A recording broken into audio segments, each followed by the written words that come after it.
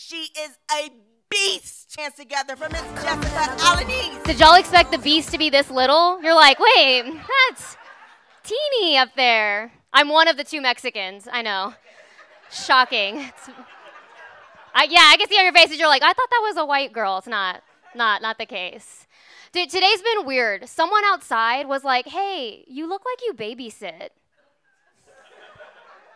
I was like, "That is an interesting way to say unemployed." That is like. What a what a word! Wow. I am unemployed though, so he wasn't wrong. I was like, "Buy a lottery ticket, sir." That is on point there. I am unemployed, and I don't mind being unemployed. I just hate that nobody cares. nobody feels bad for me about it. I told my friends, I was like, oh, I got laid off today. And they were like, well, you hated that job. And I was like, but babe, I hated that job the same way married women hate their husbands. Okay? Like, yes, I'm going to cry and bitch and complain about it, but I wasn't gonna leave, you know? I wasn't gonna quit. I need, I need dinner. I need dinner. I had one friend too who was like, you know what, Jessica? You're the most resilient person I know. You'll be okay. She said resilient, but I heard, Jessica, you've been laid off, cheated on, and basically thrown away a lot in life. You'll be fine. I was like, this bitch, what? So rude, disrespect, you know? Do you ever do that in your head? Like when people call me independent, I'm like, that is the rudest thing you could say to me. Don't call me independent. I want to be dependent on somebody. I was like, I'll call my mom right now and cry. Don't, don't tell me that. No, people wonder, they're like, well, what are you going to do for money? How are you going to make money? And I've got it figured out. Uh, I'm going to start getting residuals like actors do from all the guys that I've dated.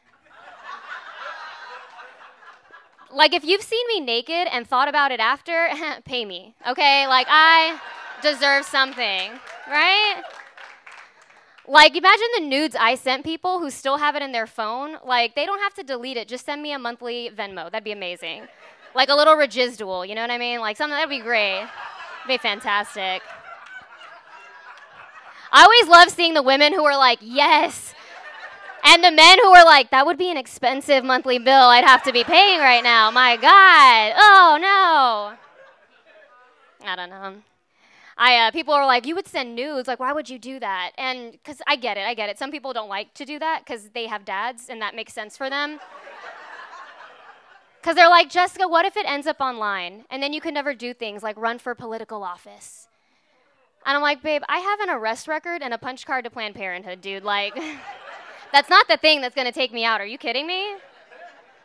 And they're like, well, what if he shows everybody? What if he passes it around? I'm like, I'm single and I'm unemployed, okay? Like, consider it a business card, okay? I need clients. I work off referrals. Thank you so much. Thank you. Thank you. I am single too. I know there was a couple people who like nervously raised their hand for that. Um, I am single, and I, I genuinely want to be in a relationship. I really do, because I want a husband, kids, divorce. Like, I want the whole package. I want it all. I do. But I know I have trust issues. I do. I have trust issues because I had a friend. It's a story about me. I had a friend who dated a guy for four years. It's still me. Four years. He cheated on her got the other girl pregnant, and then broke up with me. I mean, my friend, you know? like, that's tough. Like, how can you trust somebody?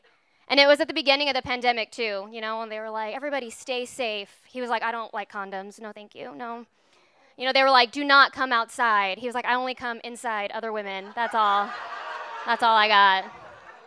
I know, it's tough.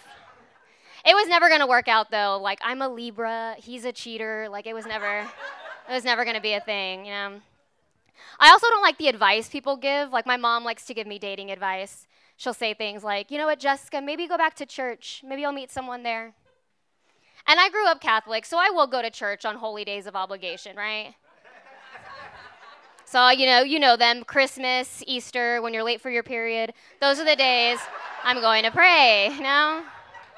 All right, you guys have been fantastic. Keep it going for yourselves, for Stacy. I'm Jessica Alaniz. Have a good night.